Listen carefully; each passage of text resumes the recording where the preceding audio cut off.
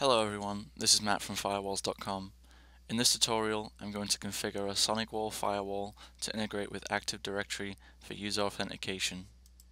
You can use this setup for authenticating remote VPN users or to implement single sign-on to identify users on usage reports by username. In this scenario I have configured one Windows server and one workstation. A domain must be present and machines must be joined to the domain in order for this to work.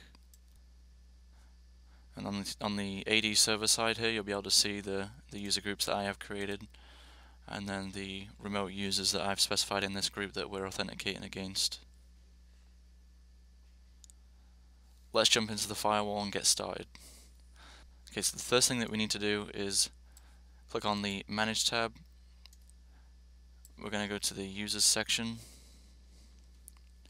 and we're going to change the user authentication method to local users plus LDAP and then click on accept.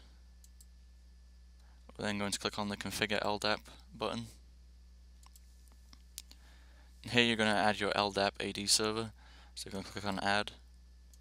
We're going to specify the IP address of the Active Directory server. We're going to specify the port for LDAP. Next we're going to click on the login bind settings. We're going to give login name location in the tree. So login username, for this example I'm just going to use the administrator account because it's a domain admin. In order for this to work the user will need to be a domain admin user. I'm going to specify the user domain and the directory that it, the user is stored and then specify the admin password.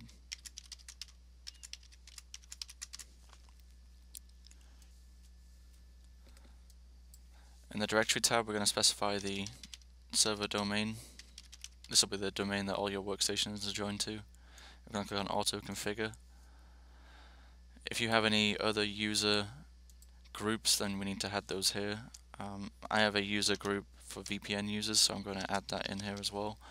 That way we can pull users within that user group. Um, and then click save. And click apply. Okay.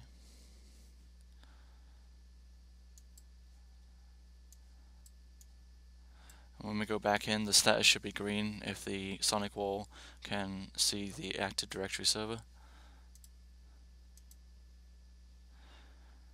Now if you want the users to be pulled in locally and then only allow those users to connect, then you can enable this option here.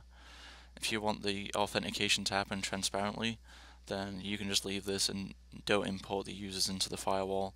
Um, the SonicWall will direct any authentication request to the server and then the server will accept or deny those requests. We're going to click the test tab and then select the server and then we're going to do a connection test and that will be a success and then it will pull in the administrator account. You can also test the user authentication uh, to make sure that the user successfully authenticates. That way you can make sure that it works before you proceed with any further configuration for VPN access or single sign-on.